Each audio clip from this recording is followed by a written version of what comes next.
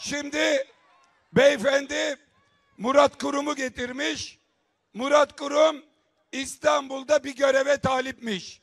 Ya Murat Kurum'un önceki görevinde attığı imza ortada.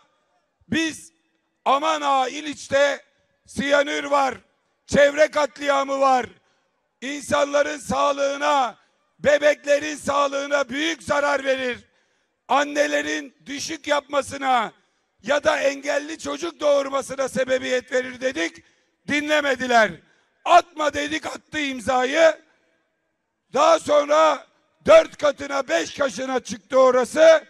Bir yandan şirket paraları istiflerken bir yandan çıkan toprak bir yere istiflendi.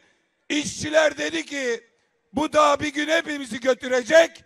O da geldi dokuz canımızı götürdü. Şimdi Murat Kurum diyor ki chat raporuyla bunun bir ilgisi var mı? Olmaz olur mu? Sen o dağın yapılmasına imzayı attın, felaketten sorumlusun. İstanbul'un